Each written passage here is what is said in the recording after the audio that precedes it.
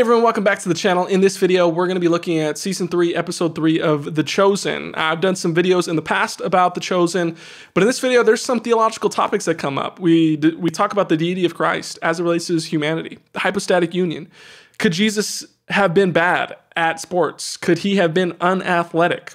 Uh, if so, does that mean that he is not fully God? Or and if the show's portraying that, does that mean that the show is heretical? And so I want to be examining that. We're going to be looking at Jesus's family because um, the show talks a little bit about that, and we're going to be comparing what happened in Luke chapter four when Jesus was rejected at Nazareth, which is what the show on uh, this particular episode is emphasizing. And so this is the first scene where Jesus and Mary are sitting down. Jesus is in Nazareth, sitting down, having a meal together. They're sharing bread, but it's just Jesus and Nazareth. Joseph isn't present, and there seems to be an understanding that Joseph most likely died. Now, the Gospels don't tell us this, but it most likely occurred because Jesus isn't present in.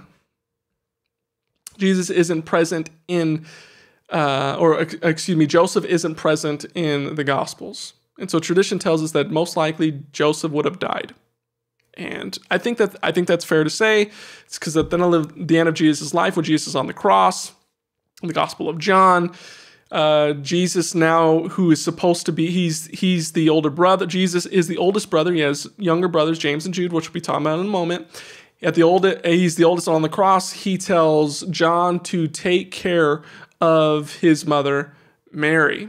Um, and so that must have been that could be the course that is evidence to support that Joseph was no longer present because he most likely died. And the show seems to imply that as well.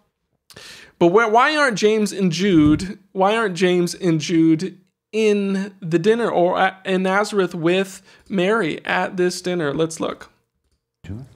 And let's read Luke chapter four and we'll read all the spoke well of him, marveled at the gracious words that were coming from his mouth. That didn't necessarily happen in the show. Like they didn't really do that. Got Lazarus speaking well of him. Wow, Jesus, keep going. And but um, not really and many people are saying some gracious gracious words. And they said, "Is this not Joseph's son?" That conversation seemed to happen in the show. And he said to them, "Doubtless you will quote to me this proverb, physician heal yourself." That happened in the show. Uh, what have we heard yet you did at Capernaum, you do here in your hometown as well? Jesus performed miracles in Capernaum. He healed um, he, he healed Peter's um, he healed Peter's mother-in-law of a fever in Capernaum, and he healed the man um, whose friends brought him brought him to Jesus, and they, there was no room um, at this house. The tradition says that it was, might have been Peter's house, and they brought Jesus down. They brought uh, a man down who was um, who was paralytic, and Jesus healed him uh, in front of the Pharisees, and the Pharisees were saying some things in his heart, and Jesus healed them. That's a miracle that happened at Capernaum. Verse 23, and he said, Doubtless you will quote to me this proverb. Um, you did miracles in Capernaum. Verse 24, and he said, Truly I say to you, no prophet is acceptable in his own hometown. But in truth, I tell you, there were many widows in Israel the days of Elijah, when the heavens were shut up three years and six months, and a great famine came over the land, and Elijah was sent to none of them, but only Zarephath in the land of Sidon, to a woman who was a widow, Gentile widow. And there were many lepers in Israel. And in the time of the prophet Elisha, none of them were, was cleansed, only Naaman the Syrian, who was a Gentile. When they heard these things, all in the synagogue were filled with wrath. They're mad, right? Why are they mad? Because they believe that they are the chosen people of Israel, that they are the chosen people of God that we are God's chosen people. Gentiles are not God's chosen people. We are the chosen people. But all Jesus is doing is saying, Do you remember Zarephath in the land of Sidon? Do you remember Naaman in Syria? They're not Jews. Yikes. Verse 28, and, and that did happen in the show, right? They the show recounted that. And when they heard these things, all in the synagogue were filled with wrath.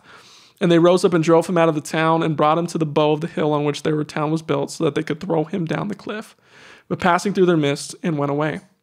So interesting, right? Nazareth was they took him to the town where Nazareth, Nazareth, Nazareth.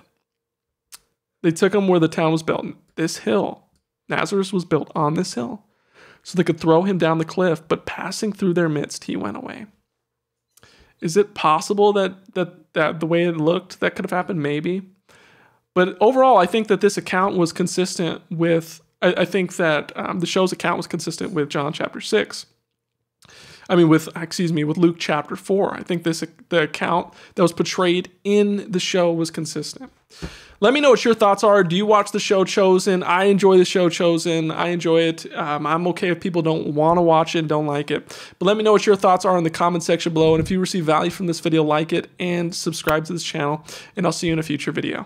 Thanks for checking out the video today. Uh, feel free to ask any question you want in the comment section below, or you can simply comment and provide your perspective. Also, don't forget to like this video so that it'll boost up the algorithm so we can reach a broader audience, and subscribe to this channel. Feel free to check out one of these videos. I believe they'll provide value to your life as well. And I'll see you next time.